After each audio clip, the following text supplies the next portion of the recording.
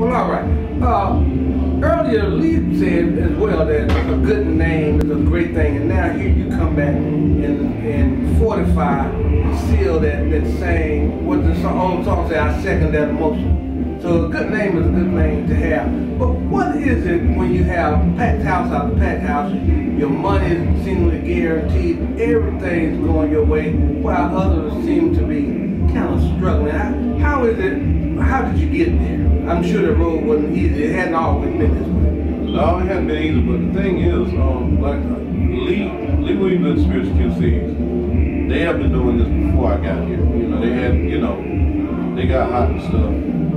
Um, but I urge people, I tell everybody, especially when I'm on Facebook, you know, no matter if you got a hit song or not, uh, but if you got a hit song, a hit song won't do you a bit of good if you don't have your business straight. Because the industry, you know, it's to me, it's like a gangster business. You know. It's- Yeah. These companies, they, they know what they're doing. They've been in the business long enough to know, you know, how to get money uh, from you. So, but if you walk in, if you walk in right, God first, and have a business mind, um, it's not too many companies that have your best interest at heart.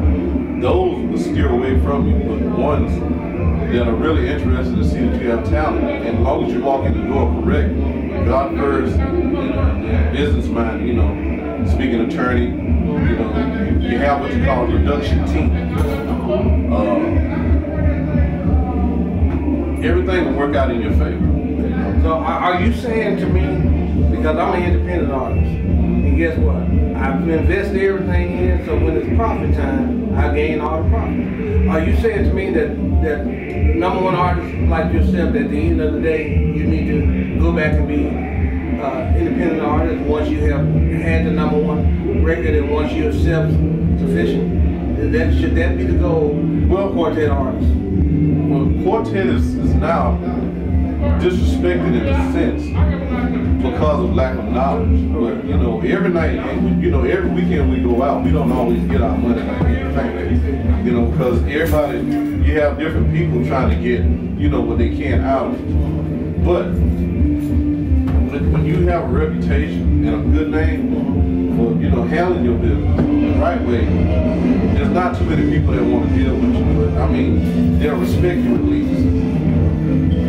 Well, we're gonna wrap this up, and, and, and trust me, I really don't want to do it because this is like the second uh, interview because we kind of talked. This won't be the last one. Yeah, right. We kind of talked in, in the hallways in Jackson when you came with the Mike Cloud door, and we talked about the business. And I thought it was very interesting that we didn't talk about anything else. We were talking about being business minded, and I think that if there's anything that you that I think you have a mantle to do is to teach young musicians to handle their business. So I encourage you, since you got all your on Facebook, don't sugarcoat it. Tell us you just like Oh, I won't sugarcoat it. You know, a lot of record companies might not like it. Yeah. Some individuals might not like me, but I'm gonna tell it to you like it is. You know, you just be upfront with your business, handle your business, and don't be scared to say anything. Just make sure what you say, you say it in the correct manner. Um, keep God in your conversation. And I mean, it, it, it'll be hard to get around and hard to argue with, you know. But I'll say this to the musician though, the working musician: if you want to be a musician and you feel it in your heart and you have the ear, like I said before, put God first. Stay humble.